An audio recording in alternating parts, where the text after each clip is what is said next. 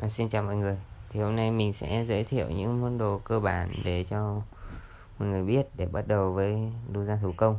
À, xét dụng cụ này thì phù hợp cho các bạn làm ví và dây đồng hồ nha. Còn túi sách và các món cao cấp hơn thì cần phải thêm các dụng cụ khác nữa. À, đầu tiên thì về dao. Thì các bạn cần một bộ gồm hai con. Một con để cắt ra để sắn và để ra da. Còn à, một con con này con góc nghiêng thì để lạng ra. Lạng đi cho nó mỏng thì nên mua hai con. Một con mỗi con nó có một nhiệm vụ riêng thì sau nó đỡ bất tiện. Về đục ấy, thì mình đang giỏi bộ đục của Jamie. Đục này thì cũng khá là ổn. Các bạn mua một con à hai cái một cái hai chân với một cái tám chân.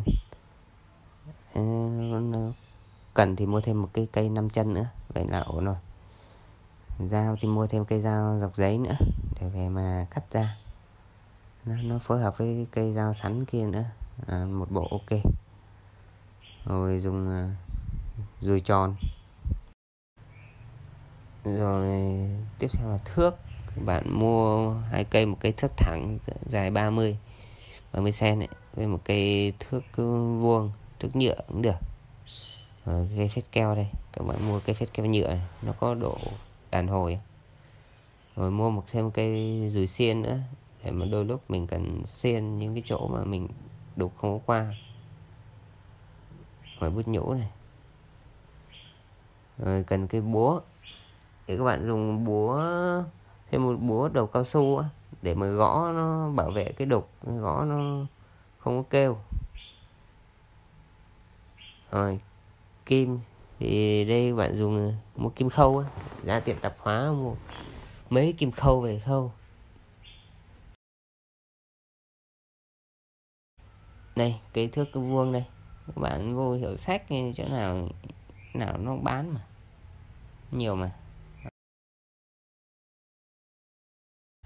À, đồng hồ kẹp da. À, muốn này về mà đo độ dày của da. Rồi mà các bạn mà làm dây đồng hồ thì mua thêm cây đục lỗ lỗ này hai chấm. Thì tùy các bạn ờ, tùy lại cái khóa nữa thì các bạn dùng ờ, đục cho phù hợp.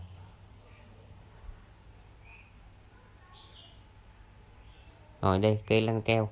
Mua thêm cây này nữa để lăn keo keo cho nó đều bề mặt, như làm ví hay làm túi ấy.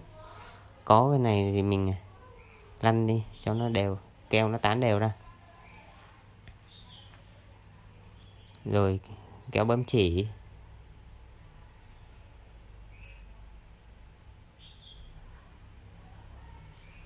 Rồi cuối cùng là chỉ. Các bạn mua lại chỉ phù hợp với cái sản phẩm của mình. À, dưới đây là xét uh, cơ bản để cho các bạn ờ, uh, mới bắt đầu.